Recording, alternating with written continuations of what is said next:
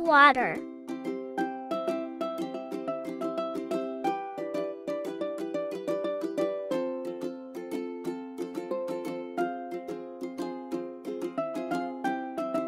Where can we find water?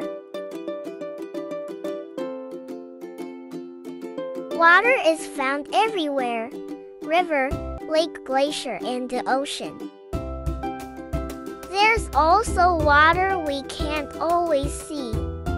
Groundwater exists in cracks, pores, and fractures. It can be drawn using pump, or it may gush out after a heavy rain. Can you think of other bodies of water? A sip from your water bottle tells you that water is liquid.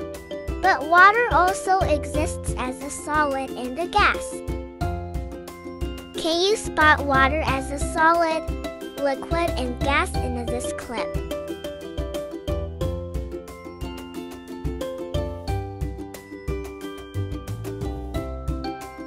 What forms of water are shown in each video? What would life be like without water?